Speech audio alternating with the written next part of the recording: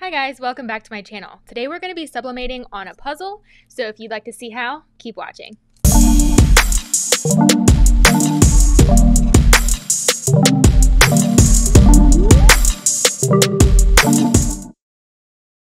Alright guys, so we are going to be sublimating on this 8.5 by 11 puzzle. I got this from 143 Vinyl.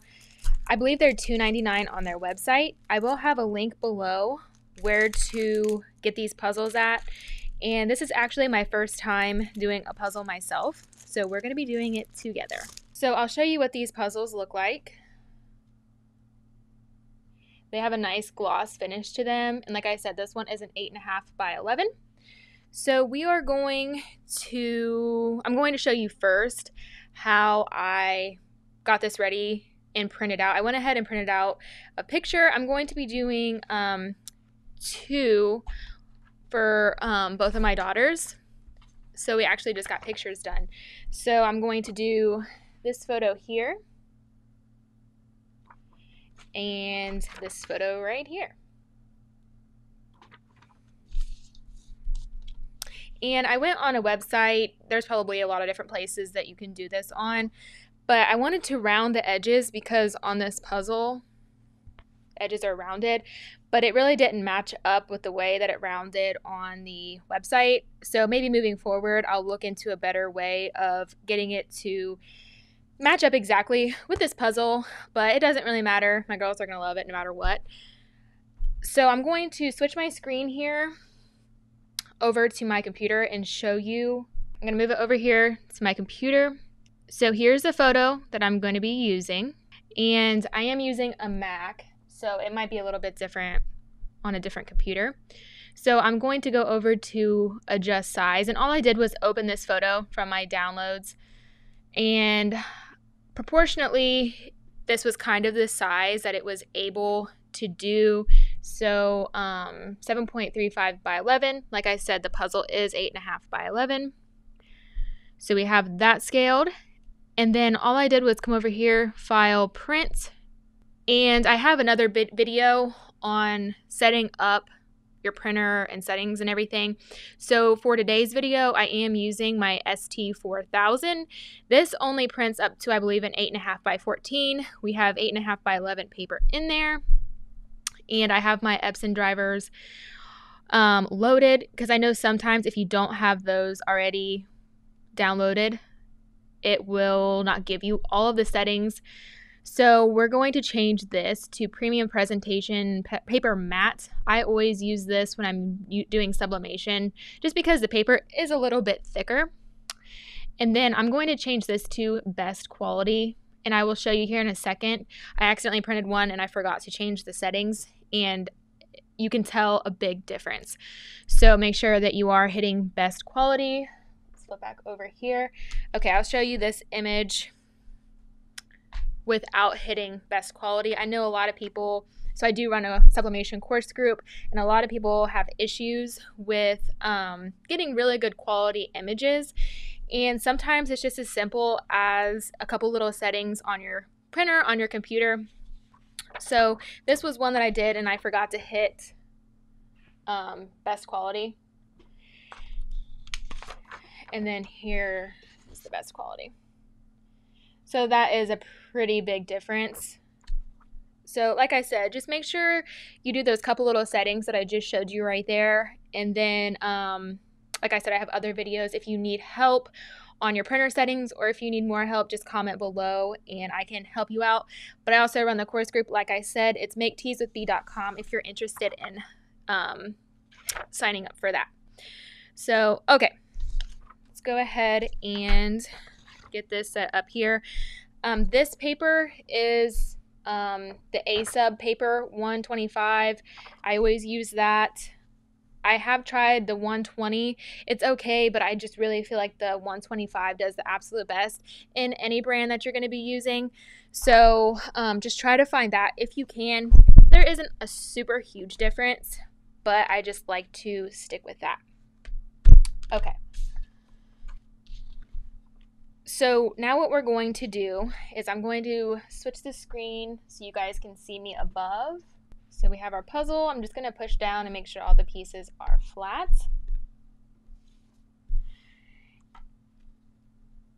and we're going to lay our picture down. I'm not going to trim it or anything because I am going to tape and I want to make sure that I have this space like on the edges to tape the puzzle down to it.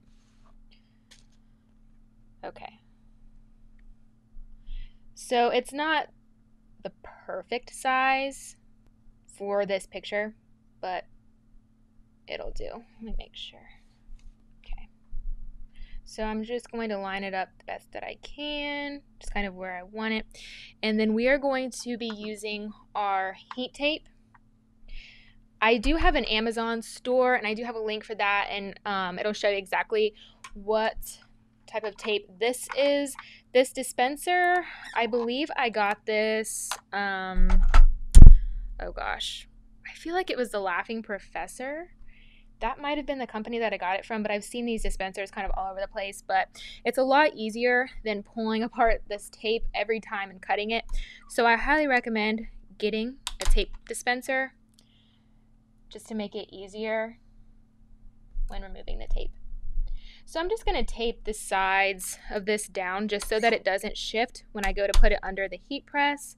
I do currently have my heat press heating up at the moment. Um, Typically, I do sublimation at 400 degrees for 60 seconds. My heat press does get really hot, and this is my first time ever doing a puzzle like this. So I went ahead and set it to 360. And I've seen a few different people recommend either um, 45 seconds or 60 seconds. So we'll see. I might even just do it in the middle and do like 50, 55 seconds. I don't want to burn it or anything. I have the um, Stahl's Hotronix 16 by 20 clamshell auto open heat press. And let me tell you, that thing gets so hot. It's such a good heat press, um, but it does get very, very hot.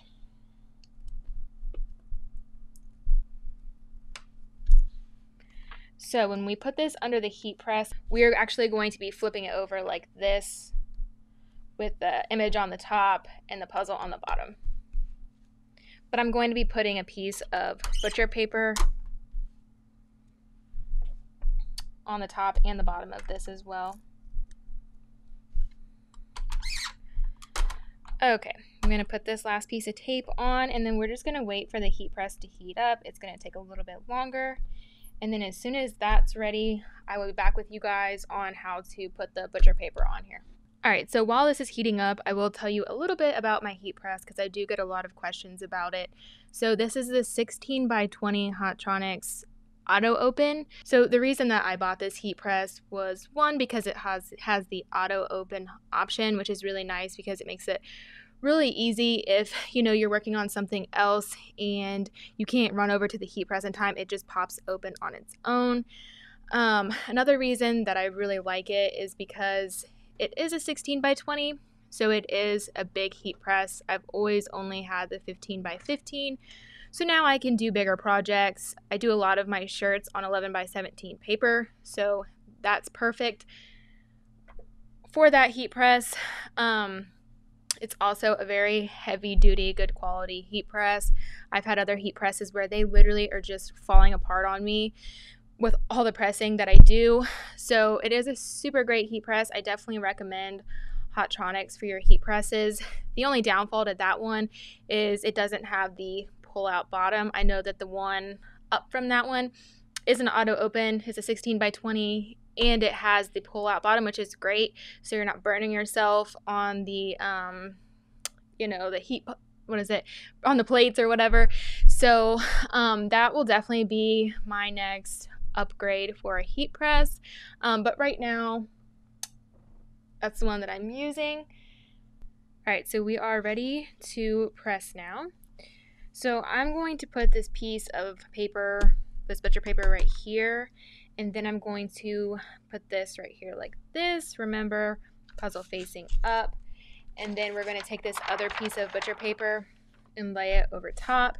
This is important just so you're not getting ink onto your heat press and it just um, that could ruin shirts, other projects you're doing. So just make sure that you're always putting a piece of butcher paper here and make sure that you're always using a new sheet on whatever you're doing.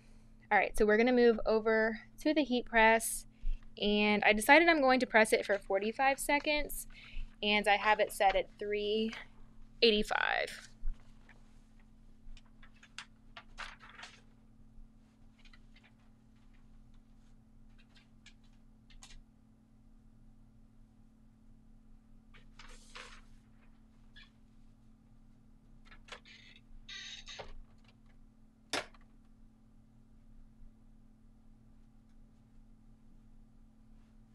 So the pressure might be set a little too much. Um, you want to have medium pressure when you're doing sublimation products. This one, um, the pressure was a little bit harder because the puzzle's a little bit thick. So I'm a little concerned how it's going to turn out because it does say that the pressure is set at an 8. So we will see how it turns out. If it is too much pressure, we will change the pressure on this other one that I'm doing and see if it comes out better. And this will also show you the auto open feature here in a second when it pops open.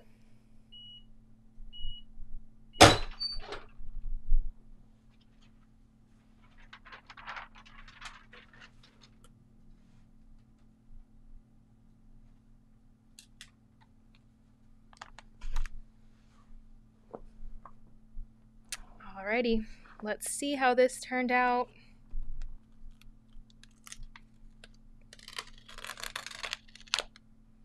Oh my gosh, guys, it turned out really good. So maybe the pressure wasn't too hard.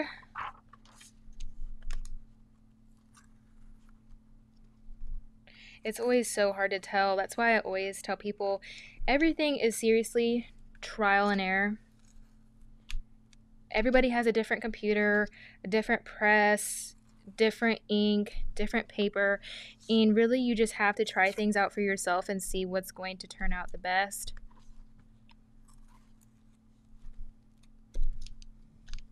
So now I'm not like uh, thrilled with the shape of how the picture kind of was on here. Like I definitely could do better with that. But let me flip over to this better camera and show you focus. Look how cute. Turned out so good. My daughters are going to love these. I will um, press the other one really quick and I'll be right back with you guys.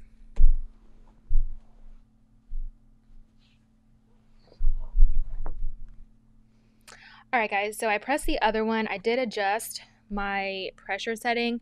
So just pushing it down closed, it was set at like a one. And then with the puzzle under it, it went to about a four. But putting the puzzles right next to each other, they literally look identical. So the pressure really didn't matter too much for me personally. I'm not saying that pressure is not going to make a difference, but here's the other one that I did. And then I'll flip the camera down so you can see both of them side by side.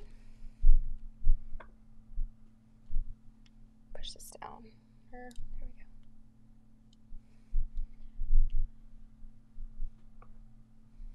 So yeah, overall, these came out great. I'm super excited about them. Um, I'll have a link down below if you want to buy these puzzles yourself because they would be super great gifts. I know my kids are going to love playing with them. Um, so anyways, if you liked this video, make sure you subscribe. And if you want to be a part of my course group, check out maketeeswithb.com. Thanks for watching.